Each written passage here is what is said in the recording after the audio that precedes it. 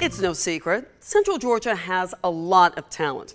We know about great athletes and musicians who were born and raised right here in the heart of Georgia. But you know, we don't hear a lot about some of the great minds developed and nurtured here.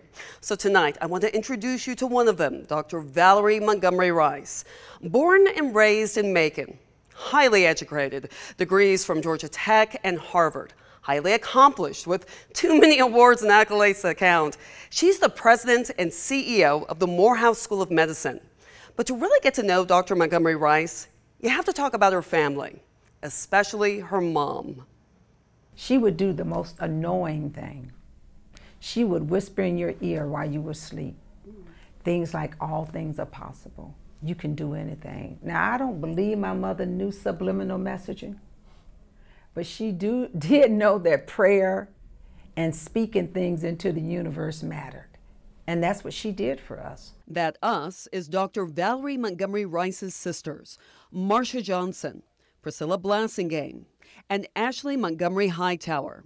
They all grew up in Macon during the 60s, 70s, 80s, and 90s, all graduates of Southwest High School. So we all knew as we were growing up with her that she was going to become someone. We didn't know what that someone yes. would be, mm-hmm. but we knew she had it in her to to become someone really important and also to be one to have an impact on the community. Looking at these old pictures, you may be able to spot that potential too.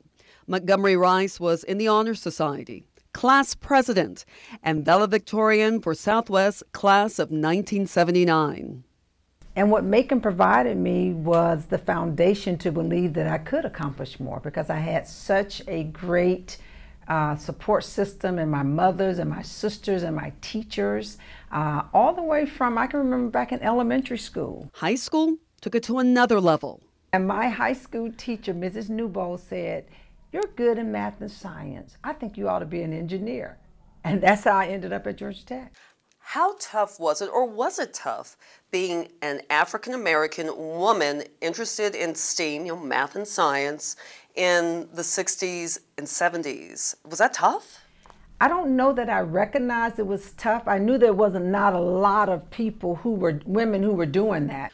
So you can imagine what a big deal it was when Montgomery Rice landed a chemical engineering job at Procter & Gamble her senior year at Georgia Tech. Oh, everybody was excited except me because I actually didn't like engineering. And so I went to the encyclopedia and I looked up math, science, and people. And one of the things that comes up is medicine.